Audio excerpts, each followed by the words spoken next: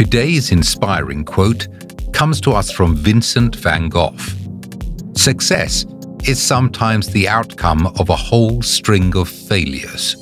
Vincent van Gogh.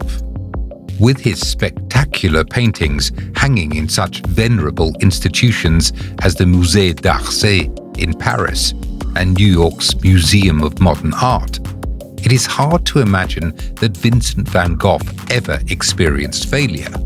But in reality, the Dutch post Impressionist artist went through overwhelming hardship in his life, both personally and professionally, and only found global fame and success after his death in 1890.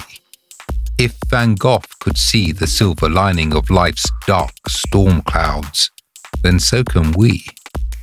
Until next time, we remain Business Brain USA.